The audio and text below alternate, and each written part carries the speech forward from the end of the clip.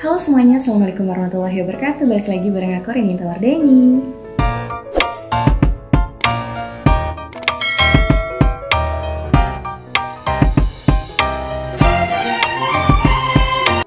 kali ini aku bakalan host tour rumahku sendiri dan gimana sih selengkapnya.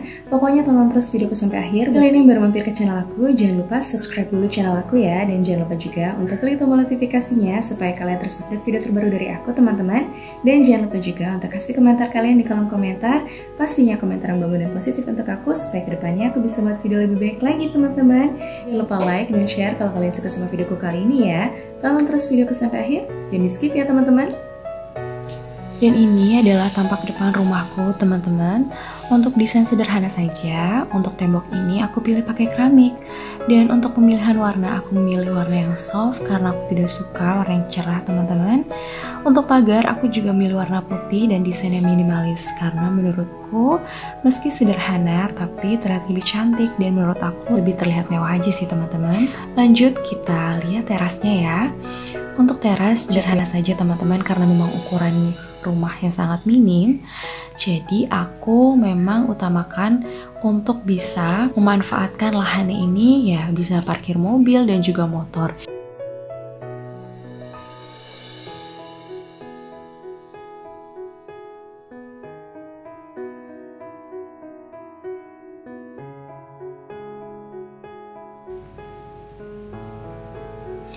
Kalian bisa lihat teman-teman di depan rumahku itu ada rumah yang memang sama sekali belum direnovasi ya seperti itu awal mula rumahku teman-teman.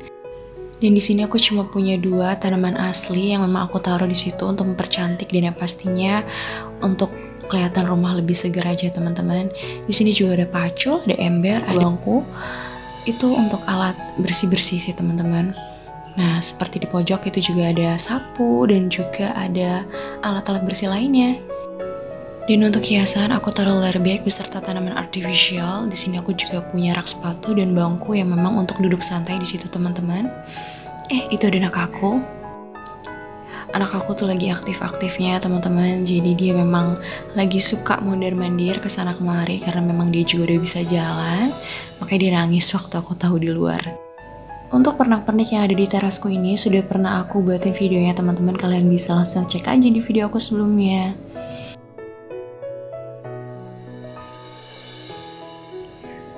Untuk pemilihan keramik sendiri teman-teman aku memang pilih yang warna soft. Aku nggak tahu ya, aku nggak terlalu suka sama keramik yang terlalu banyak motif. Kalau dilihat tuh menurut aku pusing gitu ya. Dan untuk yang ini aku pilih keramik yang ada serat kayunya gitu, coklat karena aku nggak tahu ya, aku lagi suka aja jadi aku pilih warna coklat. Untuk selanjutnya langsung aja kita masuk ke ruang tamunya. Nah, untuk ruang tamu sendiri aku udah pernah review ya sebelumnya. Aku udah pernah buatin videonya di room tour ruang tamu. Masih sama teman-teman, gak ada yang terlalu banyak berubah di ruang tamuku. Untuk wall dekornya masih sama seperti yang sebelumnya. Untuk penempatan pun juga nggak banyak berubah sih teman-teman. Gorden juga masih sama. Dan untuk hiasan di ruang tamuku ini juga masih sama teman-teman. Untuk lebih lengkapnya, kalau kalian tertarik, kalian bisa langsung aja ya cek di videoku sebelumnya di room tour ruang tamuku teman-teman. Dan yang berubah ini nih teman-teman, aku pakai playmat gitu. Jadi sebelumnya itu adalah karpet bulu warna hitam, tapi aku ganti karena memang ini lebih praktis aja sih kalau misalnya basah ataupun terkena tumpah makanan anak aku. Jadi tinggal dilap aja teman-teman pakai tisu basah atau kain basah itu udah langsung bersih. Nah di sini tadinya juga ada meja tapi dibongkar sama suamiku karena anak aku waktu itu pernah kepentok gitu bibirnya berdarah jadi dibongkar teman-teman. Untuk selanjutnya kita langsung ke kamar ya teman-teman. Jadi kamar di rumahku ini cuma ada satu teman-teman. Karena untuk bangunan awal memang cuma ada satu kamar, teman-teman.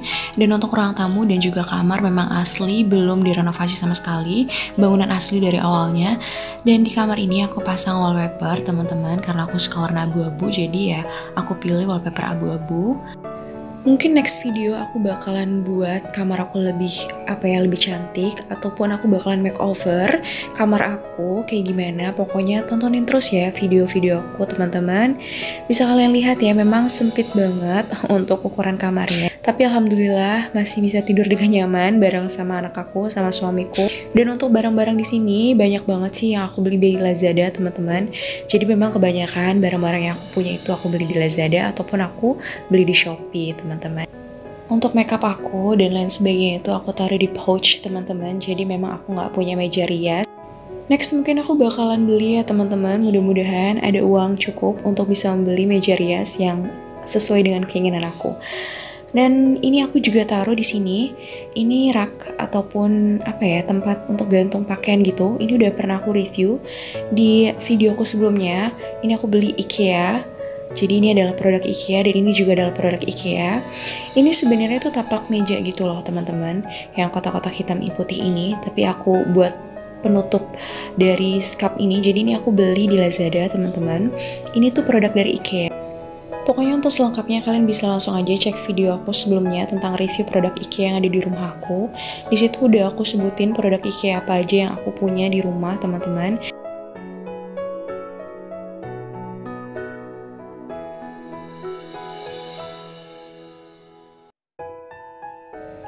Di sini aku juga taruh karpet, teman-teman. Ini karpet aku beli di Carrefour. Memang sangat kecil sekali ya teman-teman untuk ukuran kamar, apalagi aku udah punya anak. Mudah-mudahan nextnya aku bisa buat kamar untuk anak aku. Untuk beberapa barang, teman-teman seperti lemari ini, ini peninggalan almarhum nenek aku, masih awet banget. Di sini aku taruh ada selimut anak aku dan juga aku taruh sejadah. Biasanya kalau aku nggak sholat di tempat sholat biasanya aku di kamar teman-teman sholatnya. Jadi ini biasa aku gunakan untuk sholat teman-teman.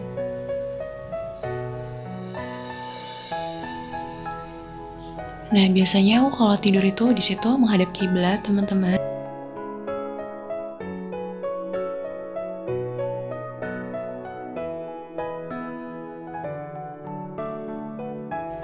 Untuk mejanya sendiri, ini juga ada pernah aku review ini barang IKEA, produk IKEA namanya IKEA Gledem. Kalian bisa cek aja langsung di video aku sebelumnya. Ini juga tanaman IKEA, ini Vegka. Dan untuk potnya aku juga udah pernah review. Kalian bisa cek aja di video-video aku sebelumnya ya teman-teman. Selanjutnya, tepat di samping kamarku, ini ada ruang sholat, teman-teman. Meskipun sangat kecil, alhamdulillah ada ruang sholat. Jadi, kalau ada tamu main ke rumahku ini, alhamdulillah bisa sholat di sini. Jadi, membuat mereka juga lebih nyaman, teman-teman, untuk bisa beribadah dengan tenang. Meskipun sempit ini, alhamdulillah sih teman-teman bisa kok untuk sholat nyaman. Dan yang terpenting adalah sholat itu harus khusyuk ya, teman-teman. Untuk wall decor standingnya sudah pernah aku review sebelumnya ya teman-teman. Di sini juga pastinya ada perlengkapan sholat, ada sarung, dan juga ada mukena. Dan untuk rak pakaian ini sudah pernah aku review juga di produk IKEA. Ini adalah produk IKEA. Jadi di bawahnya itu bisa aku taruh Nah, kayak gini nih, ini ada laptop, ini laptop suami aku, dan juga di sini ada laptop aku. Jadi mudah banget sih kalau misalnya ada box-box atau kotak-kotak juga bisa ditata, jadi bisa lebih rapi dan juga bisa taruh beberapa barang. Jadi bisa menghemat tempat juga teman-teman. Meskipun kecil dan sempit kelihatannya, tapi menurut aku Aku bersyukur karena cita-citaku, aku pengen punya rumah yang ada ruang sholatnya. Alhamdulillah tercapai teman-teman. Mudah-mudahan nextnya aku bisa punya rumah yang lebih besar ya teman-teman. Doanya ya, semoga aku punya ruang sholat yang lebih besar lagi dan pastinya makin semangat ibadahnya. Dan di sini kenapa sih aku taruh rak pakaian ini? Ini aku beli namanya IKEA Riga teman-teman. Aku beli di Lazada. Dan kenapa sih aku taruh pakaian di sini? Karena lemari aku tuh udah sempit teman-teman. Jadi ada beberapa pakaian yang udah nggak bisa ditaruh di lemari. Jadi aku beli rak pakaian ini untuk menghemat tempat juga teman-teman. Jadi biasanya pakaian yang sudah aku cuci terus kering aku taruh di sini teman-teman. Jadi itu beberapa pakaian yang memang belum aku gosok teman-teman Menurut aku jadi praktis aja sih kalau aku pakai rak pakaian ini, menghemat tempat pastinya karena rumahku juga kecil sih teman-teman. Oke, selanjutnya kita ke area belakang ya teman-teman. Mungkin kalian juga udah pernah lihat videoku sebelumnya di kitchen tour teman-teman. Aku udah pernah kitchen tour. Ini adalah dapur kecilku, dapur miniku. Meskipun kecil, tapi alhamdulillah teman-teman aku nyaman untuk masak di sini dan perlengkapan masak juga alhamdulillah memadai teman-teman. Aku belum punya kitchen set, jadi aku masih pakai gorden kolong dapur dan aku juga pengen banget sih untuk makeover dapur ini. Aku pengen ganti tuh uh, wall decor gitu. Jadi aku pengen banget sih dapur aku itu terlihat lebih cantik lagi teman-teman. Mudah-mudahan ya di next video aku bisa makeover dapur aku. Aku juga pengen banget tuh punya rak piring yang tertutup dan aku juga pengen ganti gorden kolong dapur. Karena dari awal gorden kolong dapurku itu belum ganti-ganti teman-teman. Untuk video selengkapnya, kalian bisa lihat ya di kitchen tour di videoku sebelumnya teman-teman. Untuk area belakang ini awalnya adalah lahan kosong, jadi ini bangun sendiri teman-teman dengan budget seadanya, jadilah ruangan ini.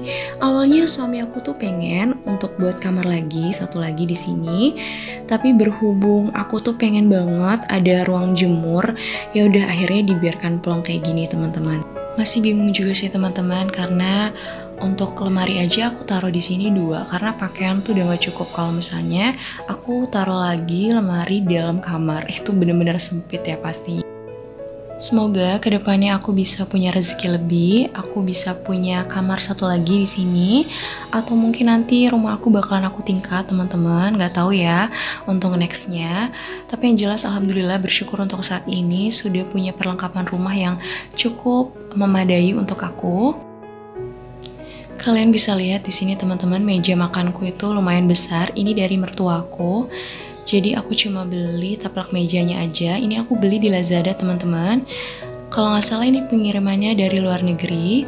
Dan untuk bangkunya sendiri, aku udah pernah review di produk IKEA.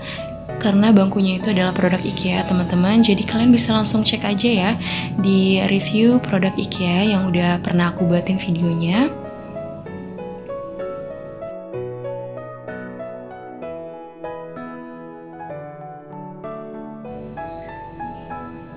Alhamdulillah sekali teman-teman bersyukur sudah punya rumah sendiri dan sudah punya perlengkapan rumah yang alhamdulillah cukup memadai untuk aku.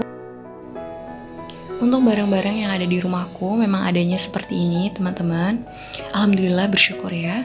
Semoga nextnya aku bisa buat kamar teman-teman ini yang aku pengen banget sih. Mungkin di lahan ini, di tempat ini aku bisa beli meja makan yang ukurannya lebih mini jadi bisa menghemat tempat juga. Atau mungkin nanti aku bakalan tingkat rumah aku aku nggak tahu. Yang jelas di sini aku juga masih bisa taruh lemari aku dan juga aku bisa taruh juga tempat handuk dan juga ada stroller anak aku. Jadi memang lumayan luas sih kalau dijadiin kamar. Tapi kalau dijadiin kamar aku bingung nih taruh barang-barangnya di mana. Semoga next ada ide untuk buat kamar mungkin ukuran mini ya apa-apa. Yang penting ada kamar lagi gitu ya teman-teman. Nah ini nih yang aku pertahanin banget kenapa aku pengen banget ada ruang jemurnya. Dan ini juga aku udah pernah review aku udah pernah tunjukin ke kalian laundry room aku dan juga toilet. Kalian bisa langsung cek aja ya selengkapnya di videoku sebelumnya teman-teman. Untuk kamar mandi masih biasa ya kamar mandi dengan toilet jongkok teman-teman. Untuk selengkapnya kalian bisa langsung aja ya cek di videoku sebelumnya di laundry room dan juga toilet aku untuk melihat lebih detailnya teman-teman.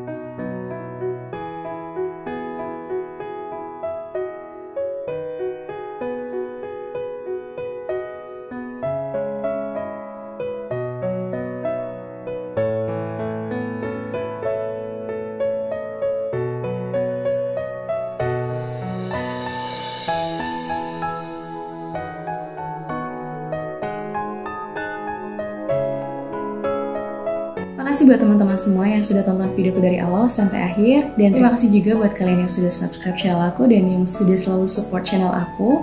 Semoga videoku kali ini juga bisa bermanfaat dan menginspirasi teman-teman semua di rumah ya. Sampai jumpa di videoku selanjutnya ya teman-teman. Wassalamualaikum warahmatullahi wabarakatuh.